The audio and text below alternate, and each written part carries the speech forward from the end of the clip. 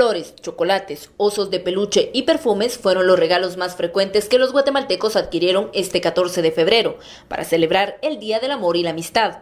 Para algunos de los comerciantes de estos productos las ventas no son tan favorables. Sin embargo, otros afirman que se vende en cantidades mayores en comparación con años anteriores. Pues algo regular, pero gracias a Dios ahí vamos vendiendo un poco. No, pues bendecidos, gracias a Dios, pues sí se incrementan, la verdad son excelentes. Incluso son los días 12, 13 y 14, ¿verdad? Los mejores días para nosotros en lo que es perfumería y cosméticos. Sí, sí, por la gracia de Dios ha ido bien desde ayer, nada más desde ayer. Antes no. Fíjese que gracias a Dios ha estado muy bien. Está fluido desde hace una semana. Hombres y mujeres, jóvenes, aquí todos los eh, jóvenes de los colegios que estamos rodeados de colegios vienen y clientes que ni conozco, ¿verdad? Que solo por teléfono. Tengo años de, tengo años de eh, de, venderles. Mire, gracias a Dios tengo ocho años de tener la floristería y siempre eh, vendo igual.